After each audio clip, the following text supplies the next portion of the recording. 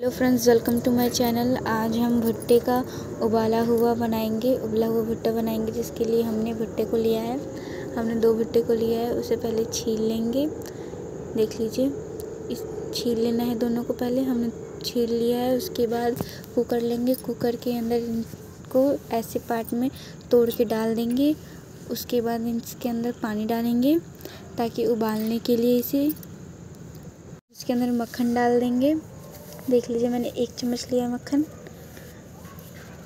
अब इसे डाल के, कुकर के ढक्कन को लगा के कम कम से कम दो तीन सीटी देनी है आपको इसे।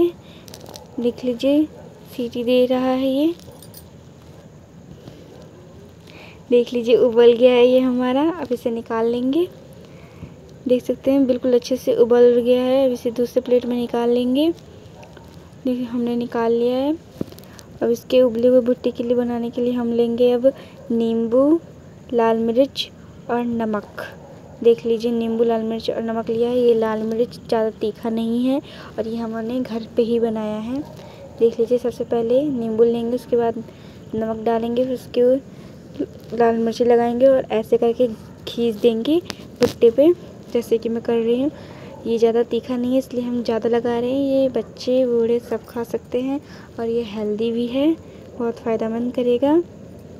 देख लीजिए, इसी इसी तरीके से आपको इसे सबको लगा देना है।